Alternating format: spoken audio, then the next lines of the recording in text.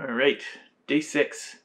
Um, that little film of water is back, and it's not water apparently. It's actually um, alcohol. Really, it's the result of fermentation, and it's called hooch. Uh, yeah, like booze.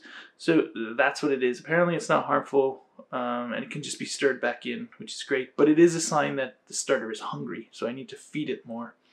Um, yeah, I guess it's gaining weight. Um, yeah, so so the plan for today is to add 100 grams of flour and then 75 grams of water, same as yesterday.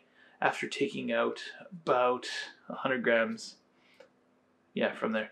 So that should do it. Uh, yesterday or last night, over last night, I tried to make a time lapse to see if it would rise and fall, but I didn't leave a light on, so most of it's black.